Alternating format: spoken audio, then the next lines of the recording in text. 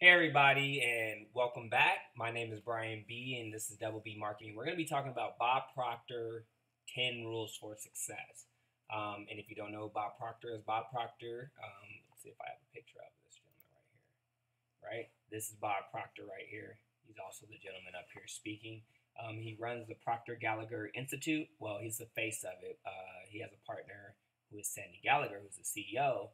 But Bob has studied with uh, Napoleon Hill, Earl Nightingale, and um, that's a lineage from Andrew Carnegie, who used to be the richest person in the world. And also, Bob has uh, he has books. He's helped create uh, Chicken Soup for the Soul, and he's a world-renowned speaker and um, million multi-millionaire and uh, top foremost, probably the godfather of um, personal development. So what uh, getting back to it, right? What's Bob Proctor's 10 rules for success?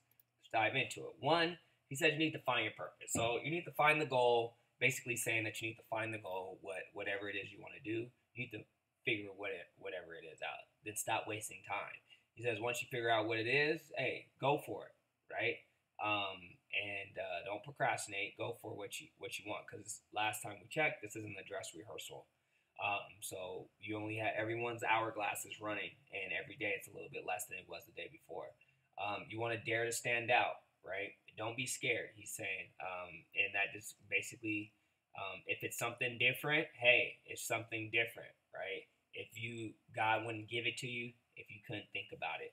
Um, the next thing he would say is never be afraid to fail, right? Failure is a part of the journey, right? So you need to include it, embrace it, understand it um, because that's part of it. Don't think you're gonna uh, make a hundred shots and never miss, but you'll never uh, make any of the ones you don't take. So uh, conquer your limits, meaning don't be comfortable. Right? He likes to say a lot of times you need to make a goal that'll scare you. Um, just because outside of your comfort zone is where the gold is. Um, next, he says number six is ask the experts, meaning don't be afraid to ask for help of people who are experts in that field. So if you want to play basketball, you definitely you want to learn from a professional basketball player. They know how to they know what it takes to become a professional.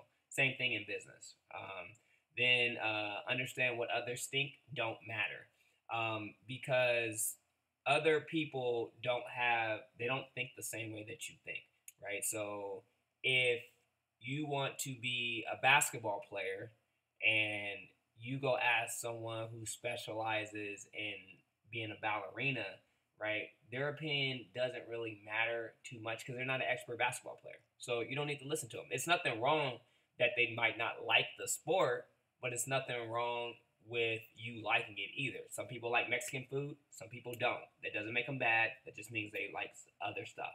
Um, harness the power of visualization. You have to basically, that means you have to see things before they they appear, they manifest in life. So you need to see them possible, right, before you can have it in your hand. So get good at, at visualizing.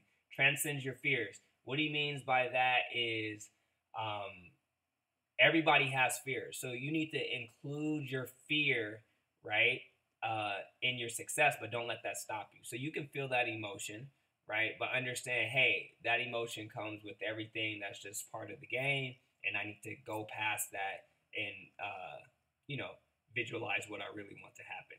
Then last is you need to shift your paradigm. Paradigm means basically it's our behavior. It's the ha- habitual ways that we think, our thought process, right? And no matter what whatever we do, right? Uh, our paradigm is kind of like a default mechanism.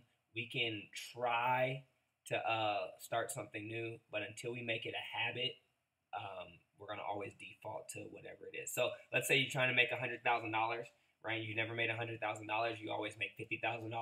Basically, um, until you change your thought process to make $100,000, no matter how hard you want it, right? Uh, and go out, you'll do you'll do the work for a little bit and then you'll default to $50,000 unless you change the paradigm. And the awesome thing about that is that's the 10 Bob Proctor's rules for success. But one of the bonuses that I'm going to give you in this video is this. Uh, if you click the link below, right? It'll take you to some other content that we have on Bob Proctor and, and just business in general. But also, if you click the link below, it's going to show you how you can get a Bob Proctor uh, training for free, right? It, it doesn't cost you anything. Um, you just got to click the link below and it'll send it to you and you can take advantage of it. And you, he'll teach you in depth how to do all those 10 things. So thanks for your time and enjoy your day.